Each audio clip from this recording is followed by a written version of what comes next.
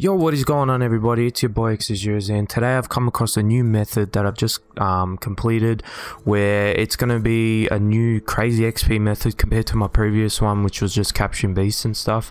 Um, as you can see I've inputted um, where you have to be on the map for to unlock this arena. Um, all you have to do is literally come to that part of the map and as you can see I'm just you have to break 20 of these little pots and then you're able to unlock it. Um, once you've unlocked it, a little cutscene will come up, and then you can enter the battle arena. Um, once you enter the battle arena, this is like it's just like a new unlimited way to get heaps of XP. Like especially for the people um, that want to get high level at the start, because it requires level 28 to be able to get um, Kedavra if you're going to go through the curse and get all the curses which I'm still in the process of but it's yeah I've seen it and the gameplay is very fun of that. Um, so if you want quick and easy way to get XP this is definitely the way to do it.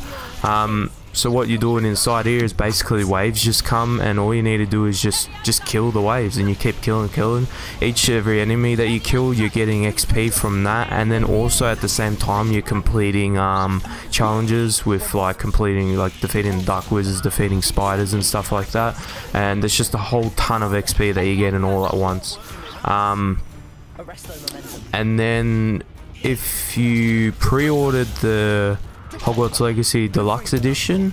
Um, on the map you can see there's another area on the map over here where it's just got the Dark Adult the Dark Arts Battle Arena, and that one you don't have to do any prerequisites. You can just go straight into there, and you can be trying the curses all out.